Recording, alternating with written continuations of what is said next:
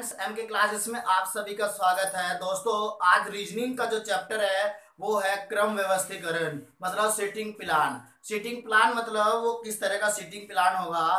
तो कुछ seating plan तो होते हैं, मेज के अनुसार, कुछ होते हैं, गोले के अनुसार। तो जो हमारे, जो गोले के अनुसार है, वो हर एग्ज़ाम में जो है, एक क्वेश्चन ज़रूर पूछा जाता है। किससे पूछा जाता है? सीटिंग प्लान से एक क्वेश्चन हर एग्ज़ाम में पूछा जाता है। वो किस तरह का क्वेश्चन होगा? उस क्वेश्चन में कोई व्रत होगा। उस व्रत में दाया बाया भी होगा। और उसमें कहेगा कि भाई वो इसके दाएँ बैठा, वो उसके बीच में बैठा, वो इस तरह से बैठा है। तो उस, उसको बैठाने की प्रक्रिया हमें आनी चाहिए। अगर उसमें बैठाना हम पे सही आ गया तो सवाल तो हो ही जाएगा। तो अब देखते हैं किस तरह का क्वेश्चन वो होगा। तो देखिए छह मित्र छह मित्र P M N Q M N sorry M N O P Q और आर एक वृत्ताकार मतलब उसमें खड़े हैं। तो उसने कहा कि एन जो है वो पी ओ और पी के बीच में है एम ओ और क्यू के बीच में है। तो तथा आर पी के साथ खड़ा है। तो एम और आर के बीच में कौन खड़ा है? इस तरह का एग्ज़ाम में जो है वो क्वेश्चन पूछा जाता है। तो अब एक विरत है। तो दोस्तों, इसमें दाया बाया तो दिया नहीं है। दाया बाया मैं अगला क्वेश्चन बताऊँगा। तो देखिए, जैसे कि हमें एक ये व्रत हो गया हमारा दोस्तों। तो ये व्रत हो गया। तो हमें क्या व्यक्ति बैठाने हैं? छह। तो एक, दो, तीन, चार, पाँच और एक, ये छह। तो अब यहाँ पे छह व्यक्ति हमें बैठाने हैं। तो अब दाया बाया तो उसने कहा नहीं। तो अब हम क्या करेंगे? देखो, उसने यहाँ तक जो हमारा ये हो चुका, यहाँ तक हो चुका, अब उसने कहा कि एन ओ और पी के बीच में है। एन को कहीं भी लिख लो। आप एन को यहाँ पे लिख लिया। अब वो एन जो है ओ और पी के बीच में तो मैंने ओ यहाँ पे लिखा और पी मैंने यहाँ पे लिखा। तो दोस्तों, अगर मैं पी को उठाकर यहाँ रख दूँ ओ को उठाकर यहाँ रख दूँ तो एन फिर भी बीच में रहेगा ना? तो बीच में रहेगा तो अब आगे देखिए, के बीच में है एम जो है ओ और क्यू के बीच में है। तो एम जो है वो एम क्यू को यहाँ पे लिख लो और एम यहाँ पे आ जाएगा। तो उसने क्या कहा? ओ के और क्यों के बीच में है। तो अब हमारा बचा क्या? बचा हमारा आर तो आर को आप यहाँ पे लिख दो। अब उसने पूछा क्या इसमें? तो देखो एम और आर के बीच में कौन है? एम और आर के बीच में कौन है? एम तथा आर के बीच कौन है वो? क्यों है? बीच में क्यों है? कौन है? वो क्यों है? तो आपको इस तरह का एग्ज़ाम में क्वेश्चन वो मिलेगा। और जिस स्टूडेंट पे जो है, गोले में स्टूडेंट गोले में उनके मान रखने आ गए उनके क्रम को रखना आ गया तो आपका नंबर एक पक्का हो जाएगा। दोस्तों कहीं कहीं तो आप इसमें जो है दो क्वेश्चन भी पूछे जाते हैं। ठीक है? तो इसके बाद हम नेक्स्ट क्वेश्चन देखेंगे। तो दोस्तों, इसके बाद जो देखिए, बहुत ही अच्छा क्वेश्चन है और इसमें दाया बाया भी आपको दिया हुआ है।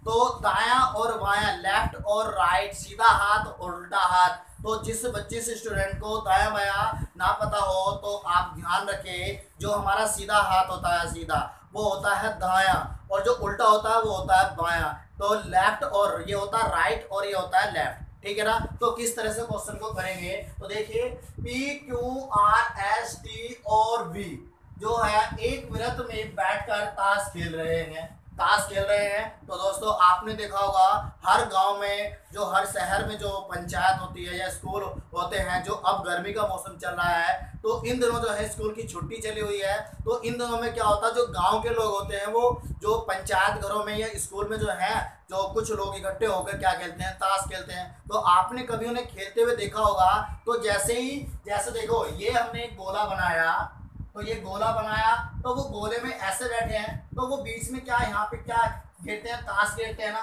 तो ताश गिरते हैं तो वो ताश बीच में तो गिरते हैं, वो क्या होगा, उनका केंद्र बिंदु हुआ।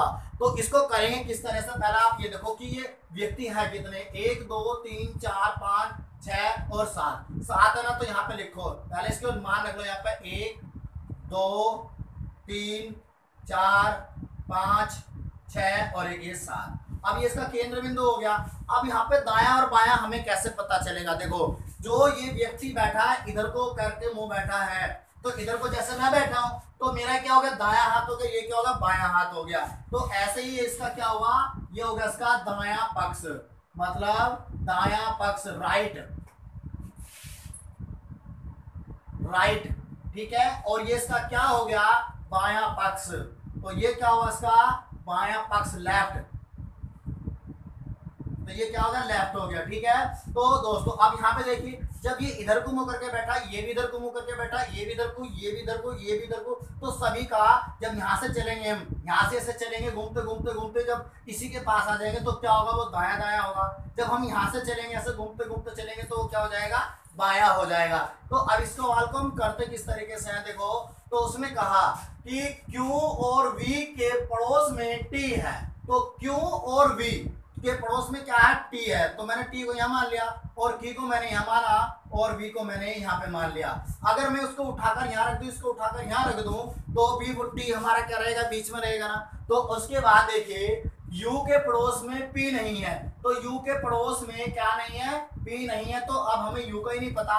तो इसका मतलब उस लाइन को हम अभी छोड़ देंगे। उसके बाद उसने कहा, r के पड़ोस में आर के पड़ोस में एस है। ना तो आर का पता और ना ही हमें एस का पता।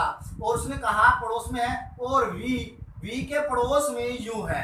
तो वी के पड़ोस में वी आ रहा तो यू यहाँ पर होगा ना तो यू यहाँ पर हो गया। फिर उसने कहा कि क्यू के बाएँ ओर तो क्यू का बाया इधर से होगा ना, ऐसे होगा बाया तो इधर से क्या होगा, वो बाया होगा। तो क्यू के बाएँ ओर दूसरा, एक, दो, कौन है, वो आर है।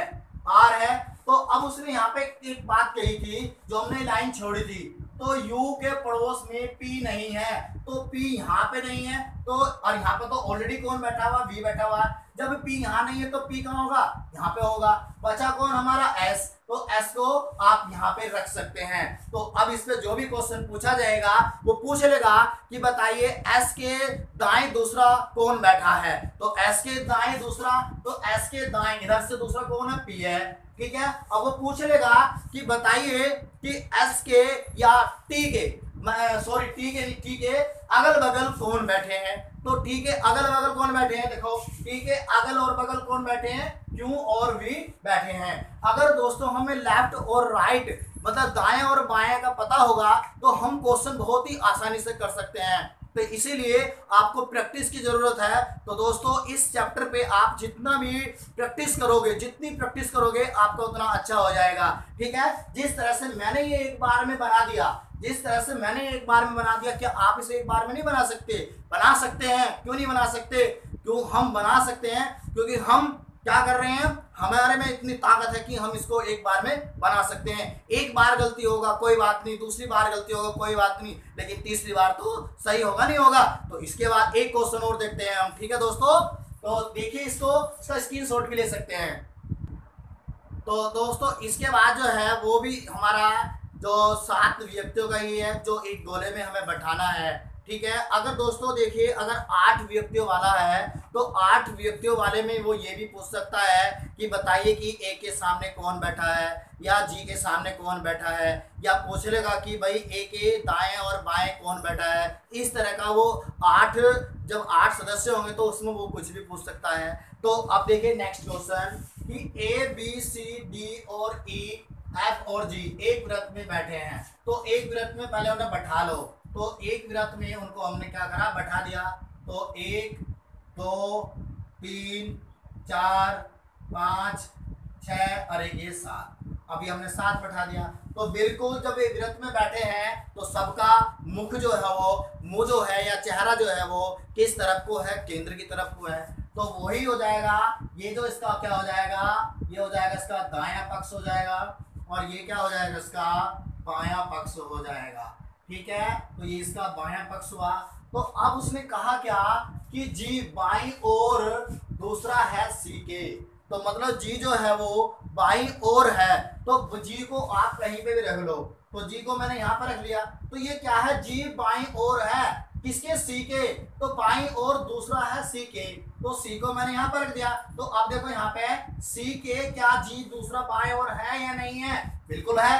अब उसने कहा जो कौन सी? जो एफ़ के एकदम बाएँ है।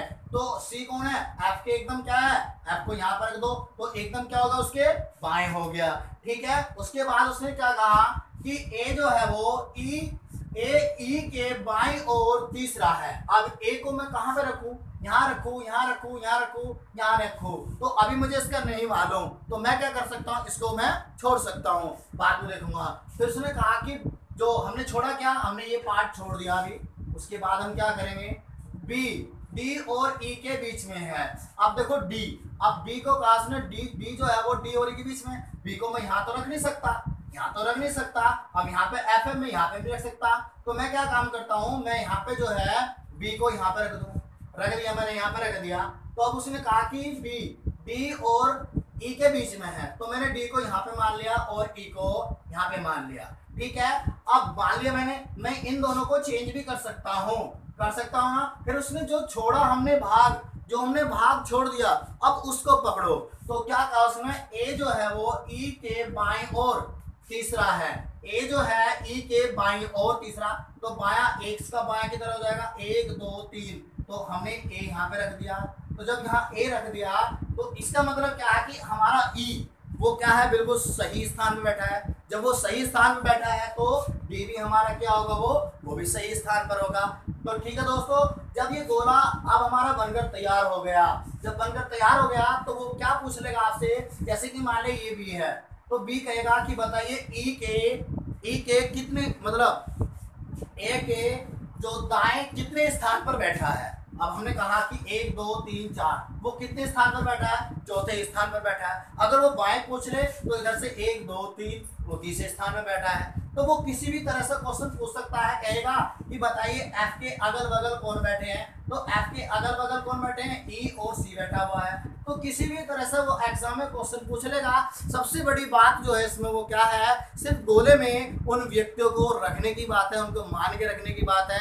अगर मान रखने हम पे आ गए तो हम क्या कर सकते हैं? बहुत आसानी से जो है क्वेश्चन को कर सकते हैं। और ऐसा कोई एग्ज़ाम नहीं होगा दोस्तों, जिस एग्ज़ाम में इस सिटिंग प्लान से संबंधित क्वेश्चन ना पूछा जाता हो तो सभी में जो है ये एग्ज़ाम में पूछा जाता है। तो प्लीज़ दोस्तों, सभी से मैं रिक्वेस्ट करता हूँ कि इस चैप्टर की आप ज़्यादा से ज़्यादा जो है प्रैक्टिस करें, ठीक है? तो ज़्यादा से ज़्यादा इसकी प्रैक्टिस करें और प्लीज़ दोस्तों, अगर आपको ये मेरा चैनल अगर आपको अच्छा लगा हो या मेरी वीडियो अच्छी लगी हो तो प्लीज़ दोस्तों, मेरे इस चैनल को एक बार सब्सक्राइब कर लीजिए।